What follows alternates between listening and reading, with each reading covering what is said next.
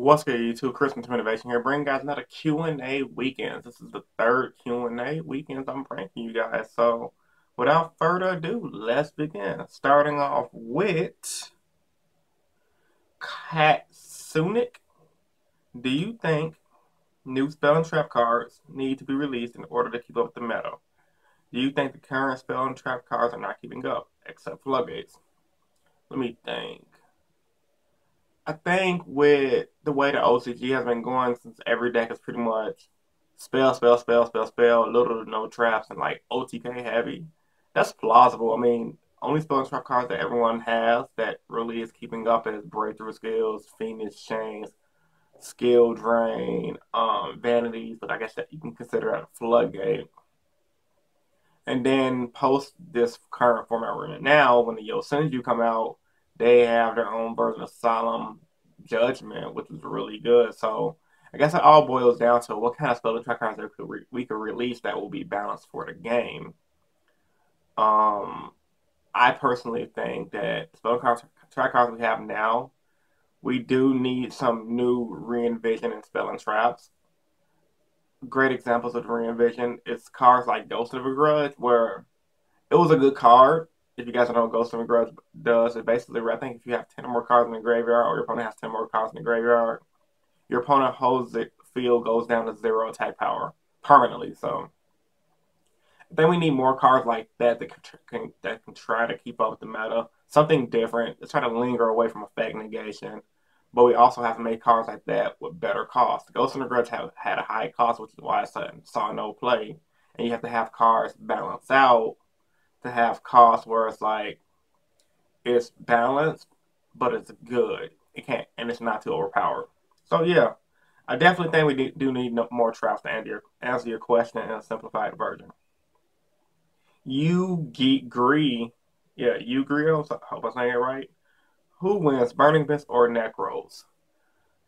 I'm gonna have to side with Nekroz on this one. Um, Burning Abyss, they just set up the field to make Dante and sit on Fire Lake. Nekroz, they is all once again spell heavy deck, literally no back row, so your opponent's not gonna really be plussing off Fire Lake like they will be. For number one.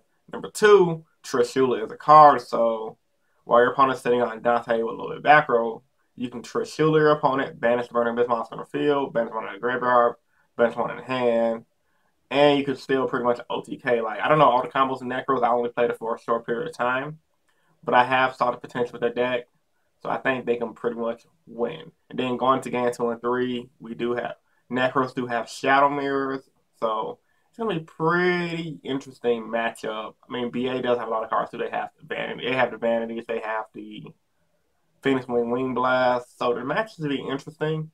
But if I was to side one, I'll side with Nekroz based on the fact that Nekroz does have Shadow and Prison Mirror. But then again, one could also argue Burning Abyss has Humanities. I'm to go with Nekroz because OCG rules. But yeah. Antonio Virgil asks, should I pick up Infernoids? Now, Infernoids is a deck, from my personal playtesting against it, that just, every deck can special summon, every deck has a monster that can special summon itself out. The deck is based around milling to the cards to the graveyard and gaining massive field advantage. I haven't seen deck run, run out of back row, so it's one of those decks that can just spit out their whole hand and OTK you in one turn. Or that's what it seems like it's trying to do. Um, if you can break the deck, yeah. I think if you have a good idea with any deck, you should you should play it. And I don't think the deck is getting a lot of hype, so it should be pretty much dirt cheap. So yeah, I don't see why you shouldn't pick up Infernoids. Now, if you're asking if you pick it for competitive play, um, it's kind of iffy because the deck kind of does this auto lose Vanity's Emptiness. So, if you can find a way around Vanity's Emptiness, you'd be good to go, sir.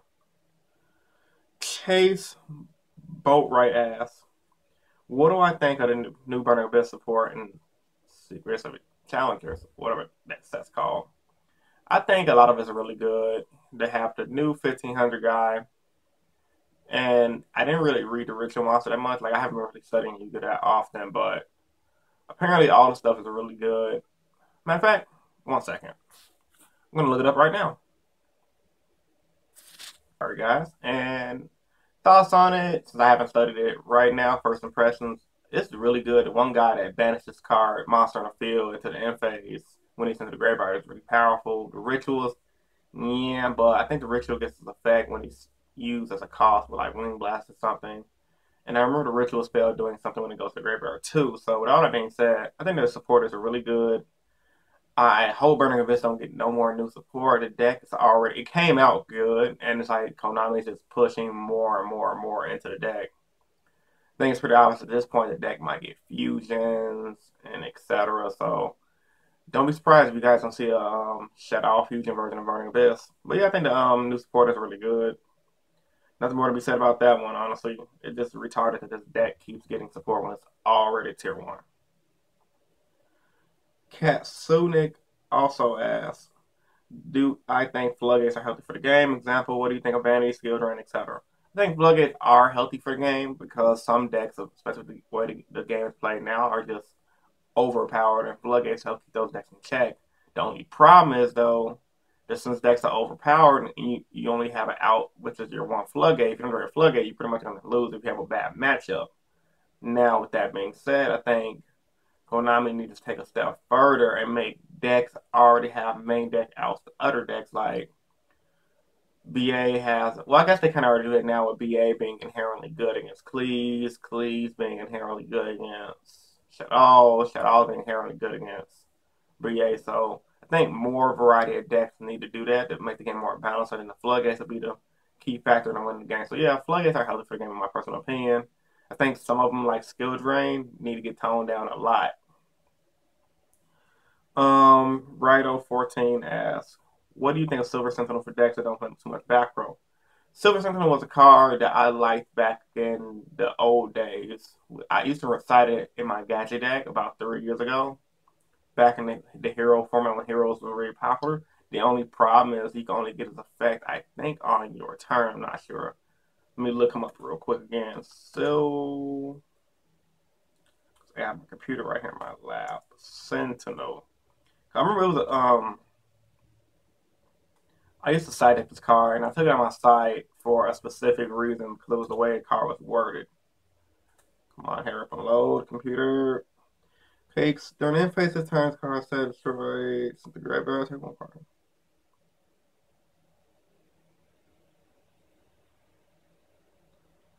Okay, so basically the reason why this card wasn't that good because when it's destroyed, you have to target one card your opponent controls if possible.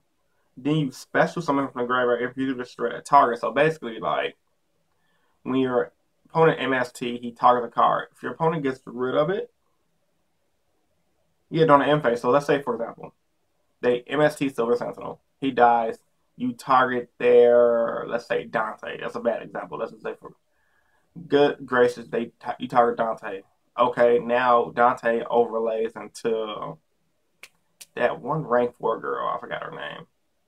And so since Dante ranked up into that that, that rank four girl, why can't I think of her name right now?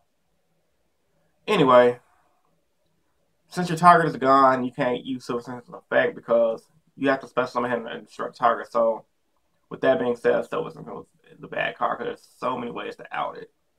Now, back in the day, it was good, but now it's just kind of a little too slow.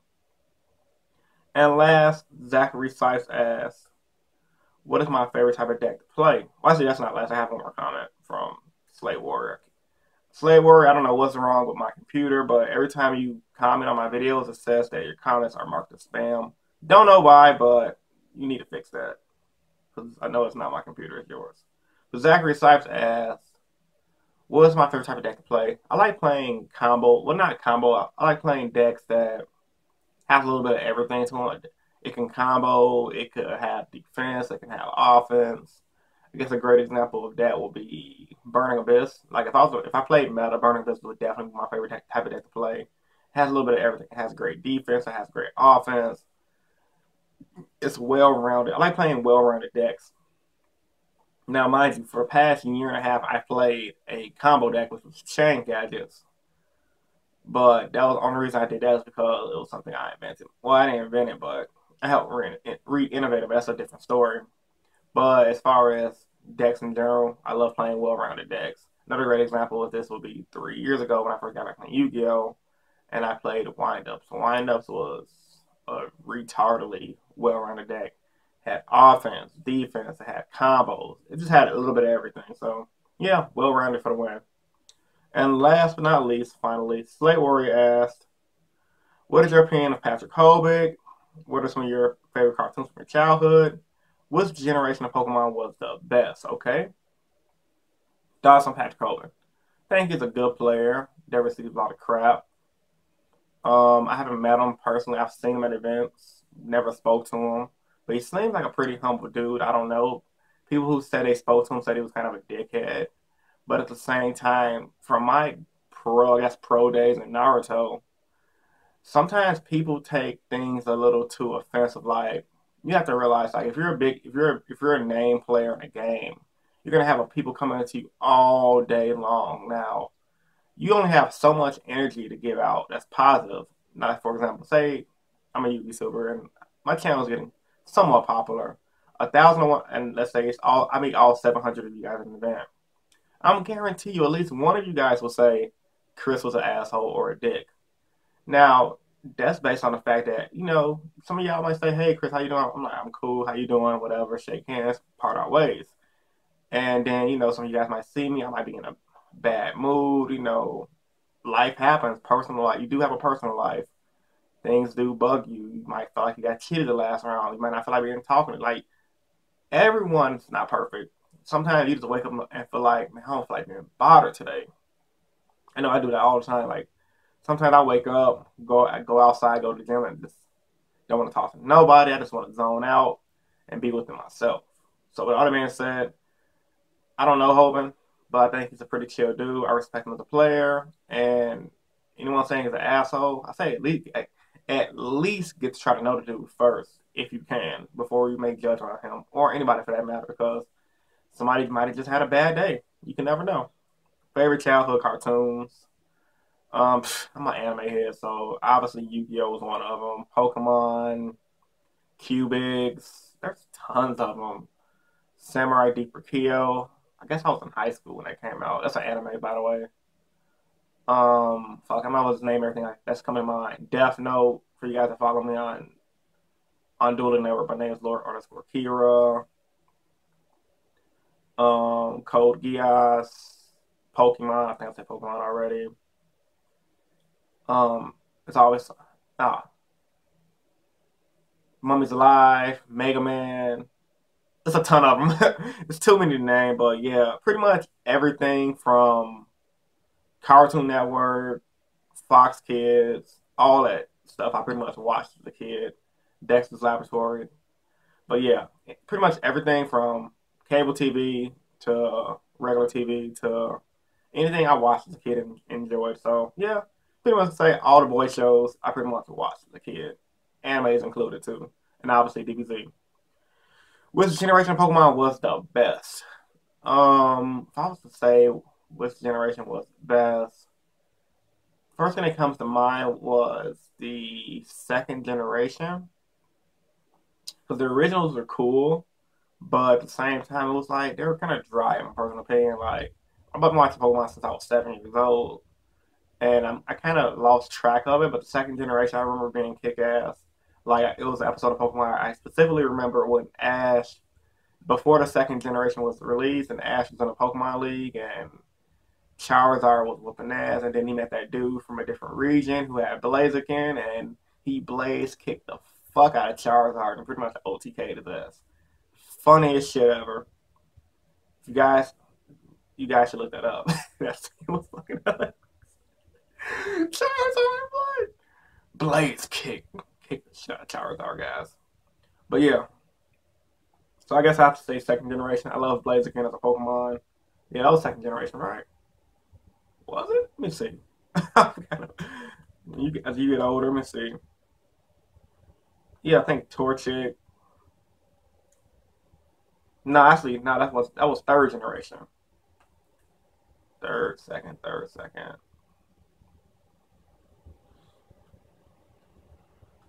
Uh, I think Blaziken. Blaziken third. Okay, yeah, Blaziken is third generation. So I would definitely have to go with Cyndaquil. I remember Cyndaquil was second generation. So yeah, third generation was my favorite because Blaziken was a beast. So, with all that being said, I hope you guys enjoyed today's Q&A. If you did, give it a thumbs up, share support. As always, comment down in the comments below. Questions you would like to ask me for next week's Q&A. I want to an ongoing thing because it is really fun, especially with questions like that Slate Word just gave me. Yeah, keep it. You can keep it outside of Yu-Gi-Oh. I really don't care. Everything don't have to be Yu-Gi-Oh specific. It can be real life, personal life, whatever.